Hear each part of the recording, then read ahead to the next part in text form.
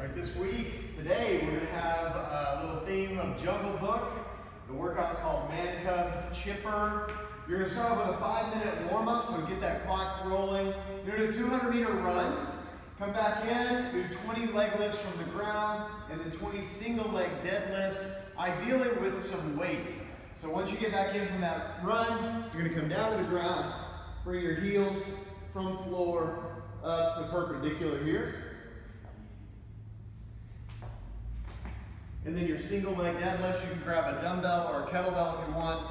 And I'm gonna go cross body, you don't have to do this, but I'm gonna reach down, tap the ground with the weight, and stand up. Ideally, you're gonna keep that back relatively straight and engage the glutes strongly at the top there.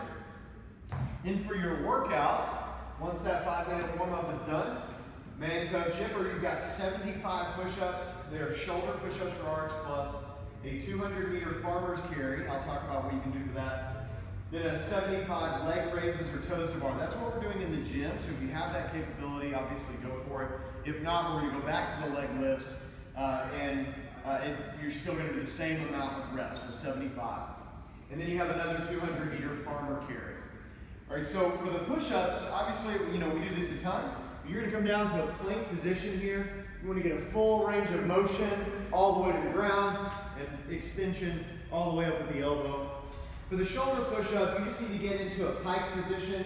Uh, you can bend the knees if you want to. It's not really about the legs as much here.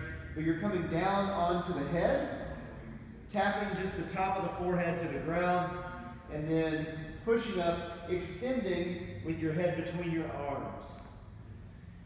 The 200 meter farmer carry, you can take two weights. Uh, each of you probably have a dumbbell and a kettlebell, and whichever weights you have, that will basically determine whether you are RX or RX Plus. You'll see that in Wodify. You're just gonna carry these on each side, run out. If you have a, uh, they're gonna be different weights more than likely, so what I would recommend is just remember on your first run, which uh, side you carried each uh, piece of equipment. So if the kettlebell is in your right hand and the dumbbell in the left, the second run, just switch that up. That way you kind of balance that out.